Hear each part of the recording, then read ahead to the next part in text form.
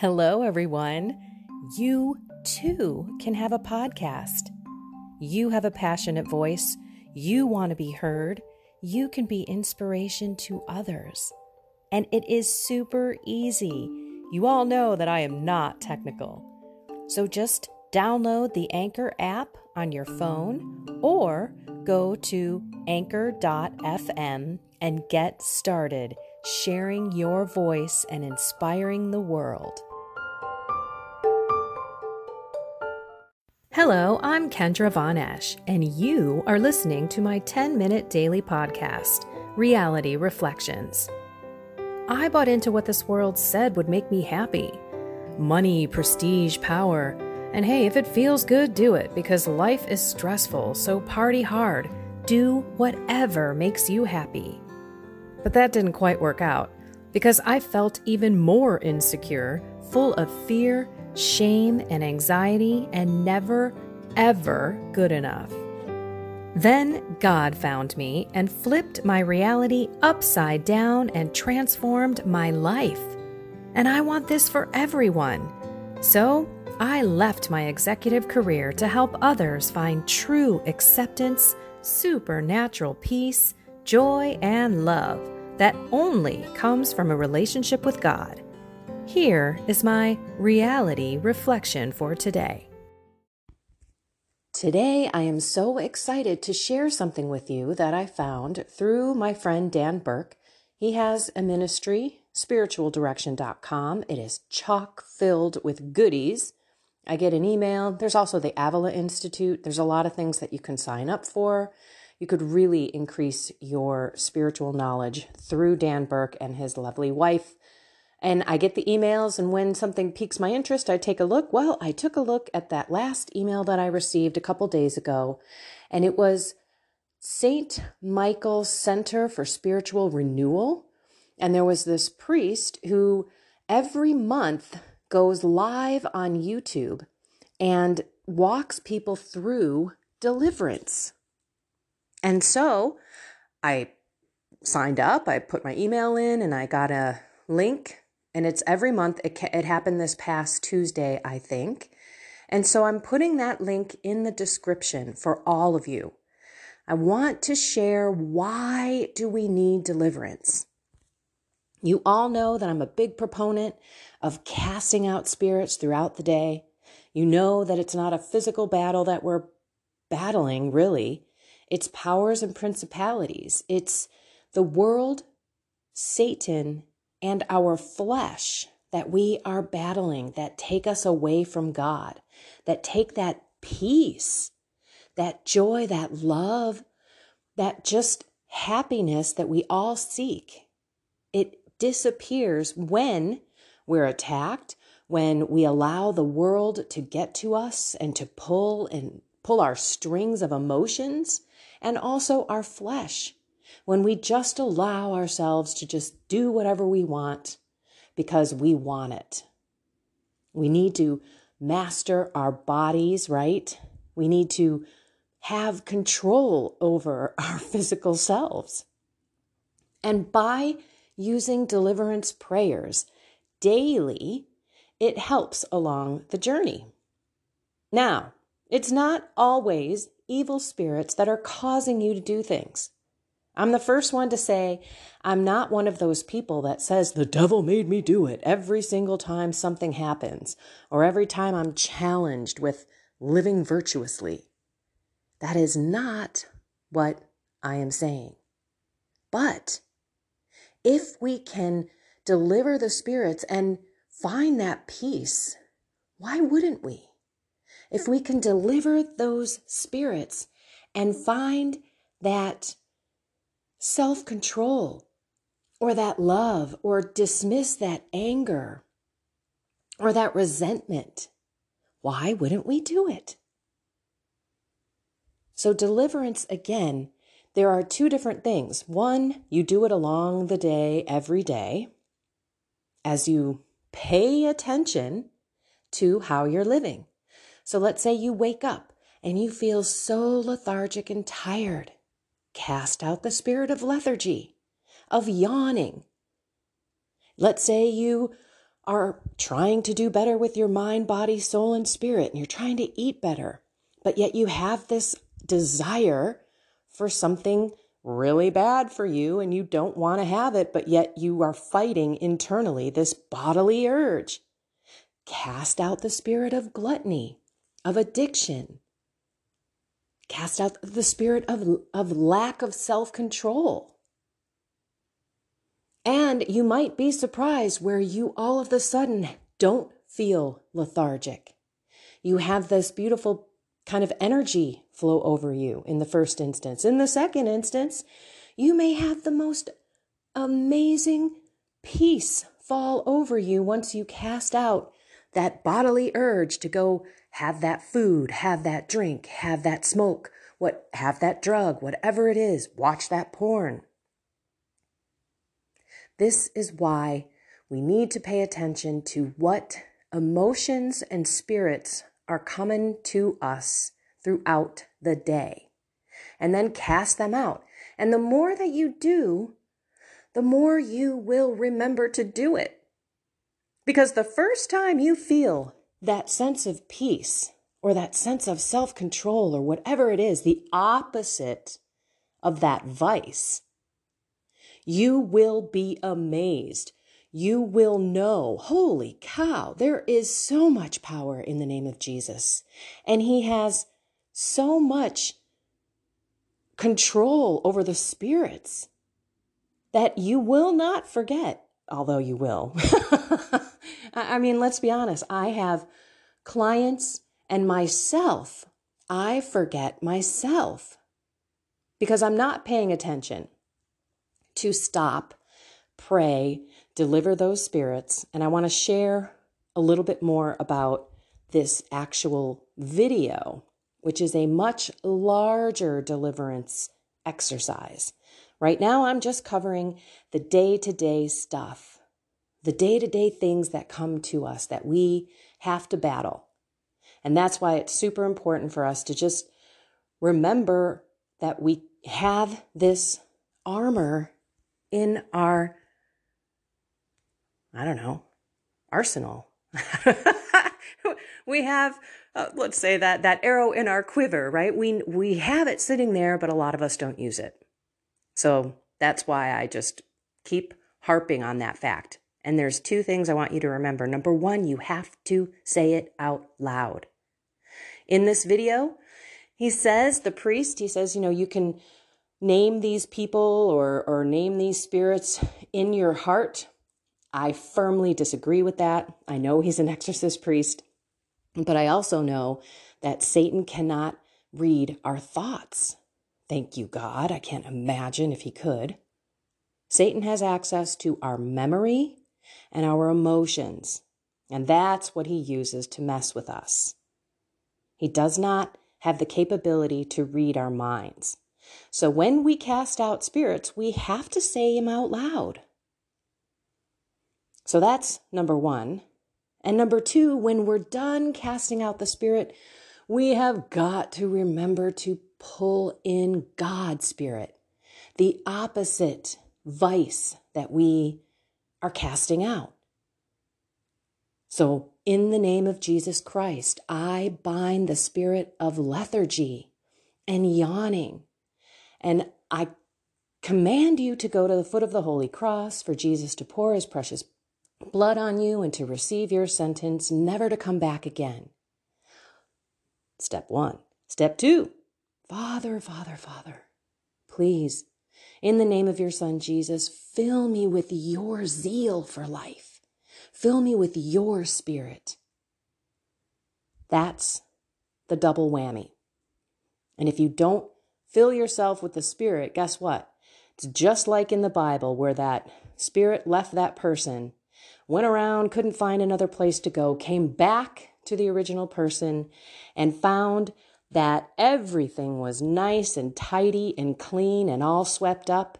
And that spirit brought seven other spirits worse than the first. And the state of that person's soul was worse than when he cast out the first demon.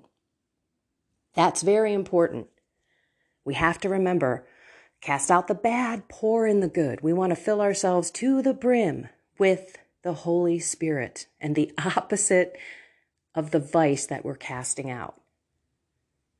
That's just the daily stuff, you know? Try it. I'm telling you, people have reached out to me, asked me again for that prayer. I've typed it out to them, and it's so gratifying. It really is when I get the responses where the people are like, oh my gosh, what was that?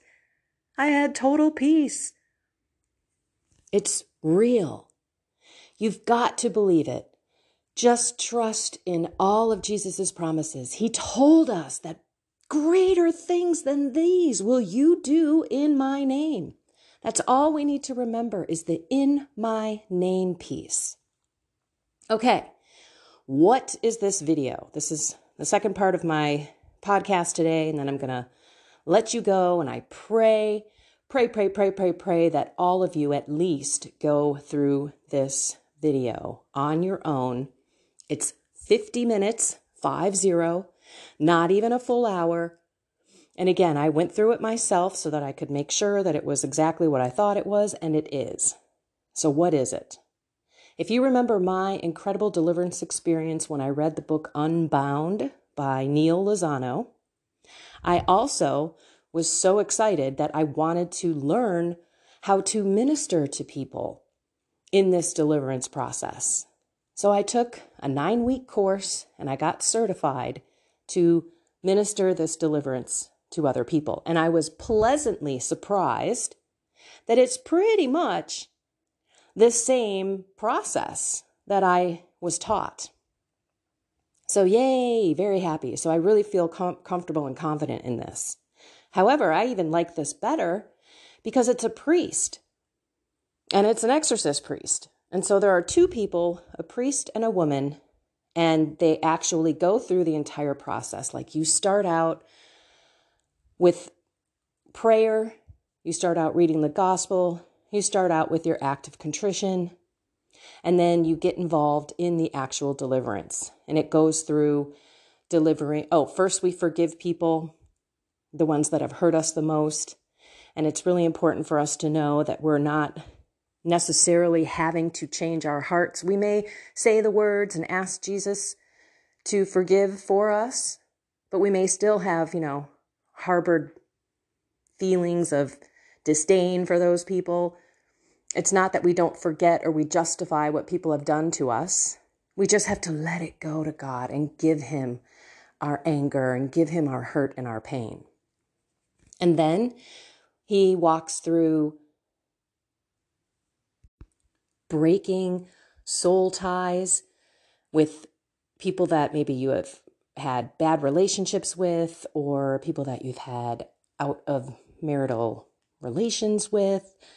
And then he continues to go through generational spirits and some other things. It's very thorough. It's pretty dry, and you get to read along. So I would suggest, honestly, do it on a computer just because it was hard to read, even on a max screen on my phone. And know that as you go along, you may have to pause. I paused all the way through. I went, I didn't just watch this, I actually participated in it. I went through the people that I needed to forgive, the spirits that I needed to deal with, and I went through as an active participant. And I found that there wasn't enough time during the live broadcast for me to identify all the names, all the spirits, all the things that I was wanting to cast out. So I would pause it a lot. I strongly suggest that you pause it too, or watch it all the way through, and then put your maybe list of people and list of spirits and things so that when you can go through it again, you've got everything identified because you repeat it three times in this particular video. And I found by the third time I was finding new people and new spirits. So that's just my suggestion.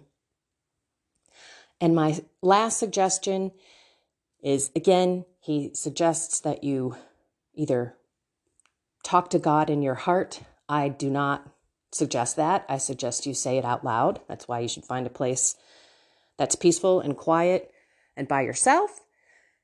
and read along with the woman.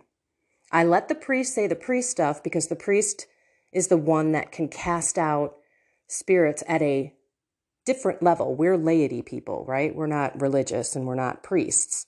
So he says things that we cannot.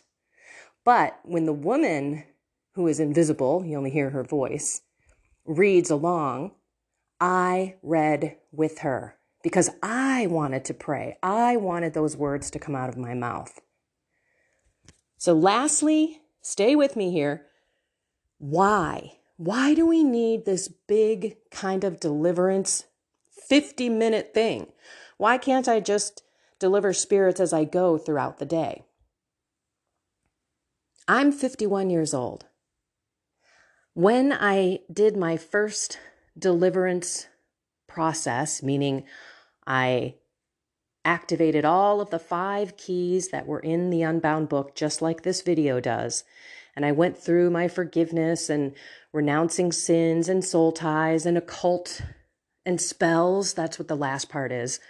If there are any witchcraft or spells or generational spells that have been put on you and your family, sometimes we don't even know this happens to us. I personally know a woman who was praying with someone in a Catholic church who had people over to pray. She had a prayer group. And this woman thought that this person was super holy. And come to find out, when they were praying, quote unquote, in tongues in this prayer group, that woman was a witch. She was a Wiccan and she was casting spells on the people that were in this group. So, this woman that I know personally, who wrote a book on this, it's not published yet, I'm trying to help her get it out there. She wrote a book on this. And bottom line, she had spirits in her house. Her children were attacked by holy spirits. They ended up having to move out of the house. I mean, they were, they had spells cast on them. And so she had to go through this process of deliverance and she was the one that introduced it to me years ago. And at that time, I wasn't ready to accept it because I really didn't get it. I'm, i believe that there was Satan. I, I actually, honestly, kind of looked at her and said, "Come on, There's, how does that happen? And why would someone do that? Why would someone do that? Because that's they are not filled with God's Spirit. They've done the one thing, the one blaspheming thing, which is to blaspheme the Holy Spirit by kicking out God's Spirit and putting in evil through witchcraft, through occult, through Freemasonry, through all of these other ways that are anti Christ. Now, where I'm at on my journey, I look back and I say, boy, I really wish I listened to her because it was two years before I finally was introduced to deliverance and realized, oh my goodness, how come I'm just hearing about this now? But technically, I didn't. I heard it from this woman, but I never really heard about it from priests. So, again, when I went to my priest 160 people priest talk, I told all of them, I'm like, guys, You need to teach us how to pray, but you also need to teach us about deliverance. You know, we're out there flailing along. We don't even know that we have the, this most powerful weapon in this war that we can use. Okay, so why deliverance? Because for 47, 46 years, I can't even remember, 46 years or so, I was living a horrible life. I was watching porn, I was doing drugs, I was sleeping around, I was committing adultery, I was watching pornography, I was self gratifying, I was doing everything. I was talking about people, maybe even, you know, I don't think I ever really created lies, but I probably embellished things and passed things on that I shouldn't have. And I just lived a horrid, horrid life. And in addition to that, I wore mood rings as a kid. I had a lucky rabbit's foot that I wore around my jeans on the belt buckle. I played the Ouija board, I watched horoscopes, I read them, and I believed in them. I had someone do astrology and read my palms and all of that.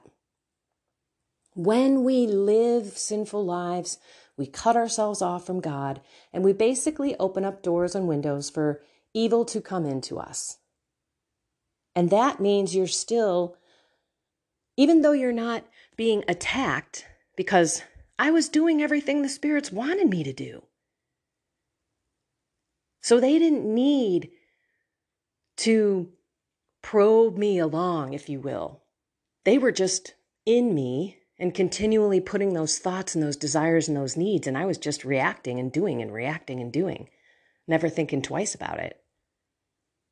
And then when I have all of these little occult practices, and maybe someone gave you a crystal or someone gave you something and said, Oh, yeah, rub this, it'll calm you. And maybe all this new age stuff is coming your way. And yoga, etc. When you open yourself up, this, the spirits come right on in and they don't have to leave until you tell them to leave in the name of Jesus. So that is why when I went through my long deliverance through the Unbound book, that I physically felt the spirits leave me in a supernatural way. It was physical in my body, and I was so light. And as I would go through with my clients, this process, the same thing happened with a vast majority of them. That they felt different. They felt lighter, as if they got into their soul with that vacuum cleaner and that long extension, sucking out those spirits that are in the dark corners of our souls.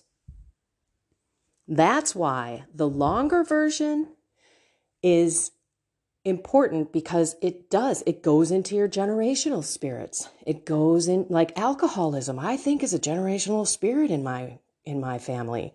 I think possibly adultery might be too. So we don't know what has happened in our previous ancestors lives or what they did to bring things into their lives that then passed down and passed down and passed down. So that is why I encourage all of you to watch this video, maybe take your notes, and then do the video. Speak, because it's hard to do it both at the same time, but I did it. I've already done the big deliverance thing. But that's my suggestion. And then do it once a year go through that big, massive process because here's what happens. Yes, you cast all the spirits out, but some of them have been hanging around with you for decades and they want to come back. So they're going to come back and do everything to tempt you to open up those doors and windows for them to come back in. So that's why sin is so bad because when we sin, especially mortal sin, we pretty much open our souls to any spirit to come on in. And like the Bible said, he'll come back and he'll bring seven more worse than the first. So at the very end, we pray a, a prayer of protection on that video and, you know, for asking the Spirit of God to come into us. So it's exactly the same process. Okay, I know that this is a long video, but it's so important. It's critical to your journey. Even if it doesn't make sense to you right now, like it did for me. I when that chick was talking to me about her stuff, I was like, you're crazy. I really I, I maybe like it was a 50-50 thing. Because I wasn't there yet. I didn't really believe that spirits can really physically manifest themselves. But if you start researching deliverance and you start looking at the three ways that they can come into our lives, which is possession, a vast majority of people are not possessed. They just get the other two. Oppression, which is things in your life are impacted. You could have things fall off the wall. You can have physical attacks, and I've known people who have had spirits choke them at night, stick their fingers down their throat. They can come and attack you in your dreams. I was physically pushed down on my bed the two nights that I was reading that book. I didn't see any spirits, but I know darn well two hands of some sort pushed me down, and I knew there was something in that room. Oppression can also be affecting your finances, your relationships. It's a it's a physical manifestation of bad in your world. I'm going to use a quick uh, example. Father Ripperger, who is the author and an exorcist priest of Deliverance Prayers for the Laity, had said that one of his people that he was ministering to had a business and nobody was paying him. And so they went through deliverance and he was being oppressed. All of a sudden, within a month, all of his payment came in and his business didn't have to get shut down. The evil spirits can also oppress relationships.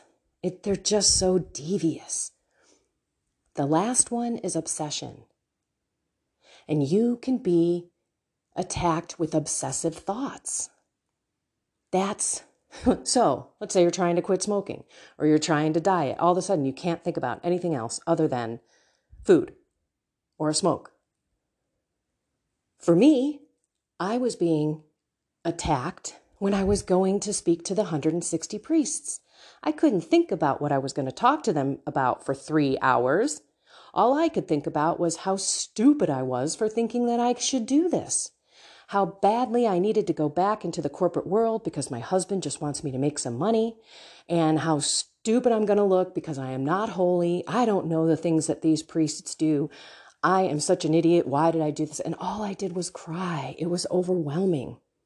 And it was two weeks of this until I finally reached out to my spiritual director, who's a priest, and he said, Oh, yeah, you're being attacked.